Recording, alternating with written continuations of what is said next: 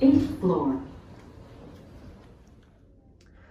We're just finishing our stay at the Swan and Dolphin on the Dolphin side.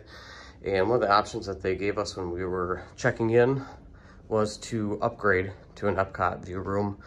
Ended up costing us about $80 for the upgrade. Uh, but let me tell you,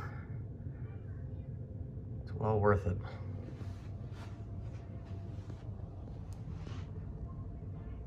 Straight above the bridge where the friendship boats come through, straight across from Spaceship Earth. And when they do the fireworks show at nighttime, you have a spectacular view of the fireworks show.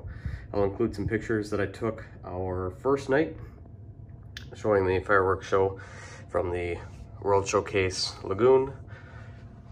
We also have a straight shot viewing the Skyliners coming in, a view of the boardwalk,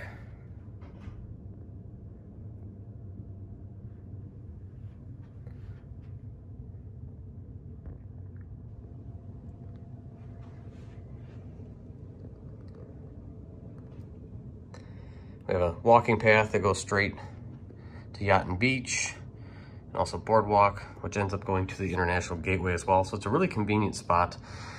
The only disappointment I would say with the Swan and Dolphin, and excuse the mess, is that the beds, they're just a, a standard double bed. So uh, nothing spectacular as far as the bedding goes, but the location was great. And again, those views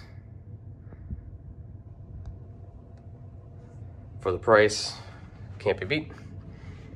So I just wanted to share this with you. Again, at the end of the video, I'll have some pictures from during the fireworks as well.